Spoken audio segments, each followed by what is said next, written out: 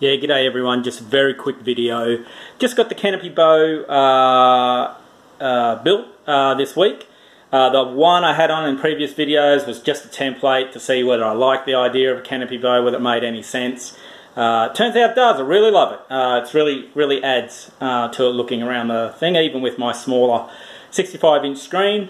Um, listen, she's just MDF uh, really. Uh, cut out pretty thick MDF. I think I use about 18 mil and a 9 mil for, for the center and then a 3 mil just for this sheet um, along here. Big solid blocks of wood in these side panels here. I'll eventually put some bolts here and here to really secure it onto the uh, onto the main uh, fuselage but while I'm still building she'll just sit there for a little bit still waiting got to put some handles on, look for some STLs for um, some mirrors. Um, but other than that, yeah, it's looking pretty, pretty good. Uh, pretty happy with that at the moment.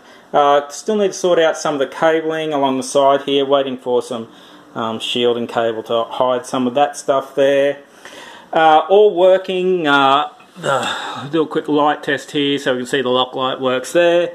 And if I turn the chart light, you can see uh, that comes on, that little light up there as well. So that's just of course using the, uh, the chart light down here. So I've got that wired up um, to uh, a dimmer and it just runs uh, through this cable here all the way around. That light there actually is just one of these little, uh, I think it was a, a dollar, two dollar lights um, that uh, I sort of cut in half and and then just wired it up to the uh, the 5 volt um, system that's in the uh, it's covered there uh, that's in the uh, in the cockpit. So uh, yeah like I say pretty stoked uh, looking looking very good and actually very very useful. So looking at doing some other videos now around the uh, how it was all built but that's just a quick uh, update for you.